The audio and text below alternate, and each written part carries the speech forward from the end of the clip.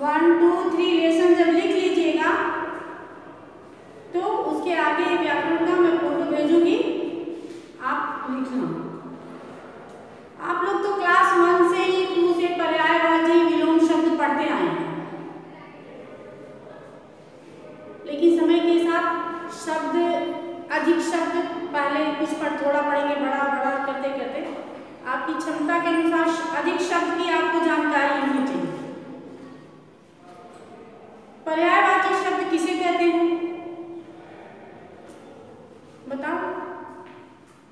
नहीं बता सकते। समा, सामने होते तो बताते। हैं मेरे कहने मतलब कि सामने होते तो बताते आप तो हम सुनते हैं।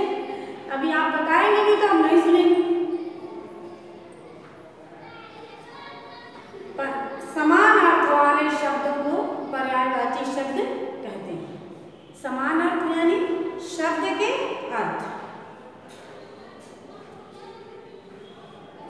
को पर्यायवाची शब्द कहते हैं समान अर्थ वाले शब्दों को पर्यायवाची शब्द कहते हैं जैसे कैसे आकाश है आकाश को नभ गगन अंबर कुछ भी कहिए, लेकिन मीनिंग तो उसका है आकाश। है ना? सूर्य। है सूर्य को आप सूर्य कहिए, रवि कहिए, भानु कहिए, दिनकर कहिए, दिवाकर कहिए, लेकिन वो सूर्य के ही अर्थ है मीनिंग जैसे अग्नि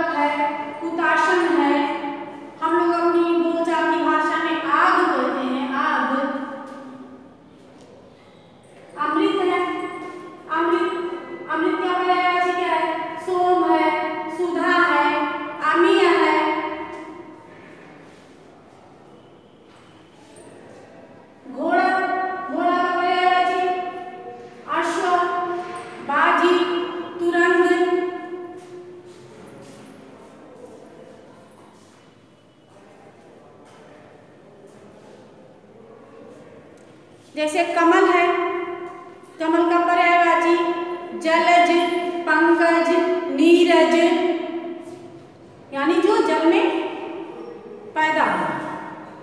पंख से पंख का, कीचड़ में पैदा हो। ये सब इसके पर्यायवाची हैं, यानी इसके अर्थ हैं। आपको कहीं भी पंकज आएगा तो उसका मीनिंग आएगा तो आप क्या लिखेंगे? कम उसके अर्थ लिखने को आएगा तो क्या लिखेंगे? कम नीरज आएगा तो भी उसका अर्थ क्या होगा कम तो ये पर्यायवाची शब्द है समान अर्थ देने वाले शब्दों को पर्यायवाची शब्द कहते हैं। बहुत चीज़ आप लोग जानते हैं, लेकिन कोई पूछे तो उसको बता नहीं तो यदि कोई पूछे कि पर्यायवाची शब्द किसे कहते हैं तो उसका आंसर एक लाइन में उत्तर होगा। समान अर्थ वाले शब्दों को पर्यायवाची शब्द कहते हैं। इसके बाद हम लोग पढ़ेंगे विलोम शब्द क्या पढ़ेंगे विलोम शब्द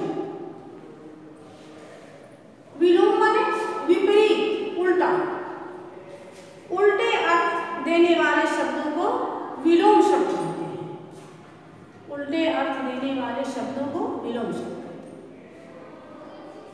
जैसे छोटा, बड़ा, कम, अधिक, बाहर, भीतर,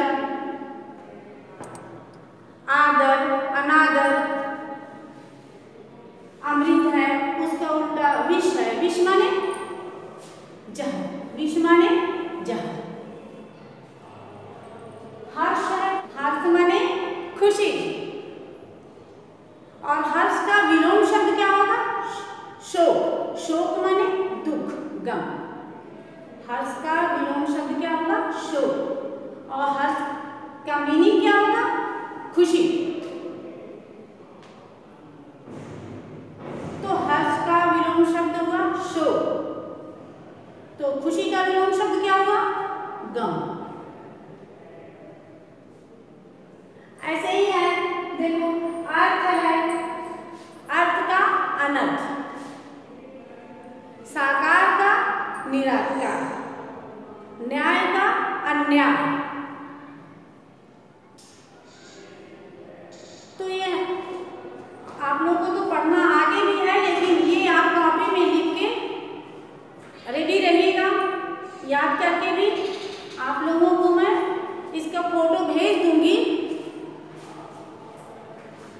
और कापी में क्या लिखना है वो मैं बता भी दूँगी। आप लोग लिख के याद करना ओके थैंक यू